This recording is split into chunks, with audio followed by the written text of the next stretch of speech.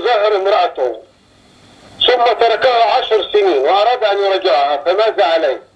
ظاهر امرأته. أيوة عليه أن يكفر كفارة الظهار قبل المساس قبل الجماع.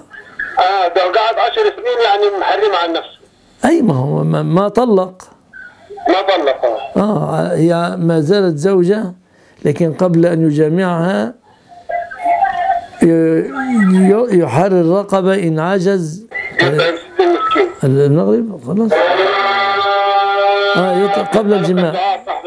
الله يبارك فيك. في عمرك يا رب. وإياكم.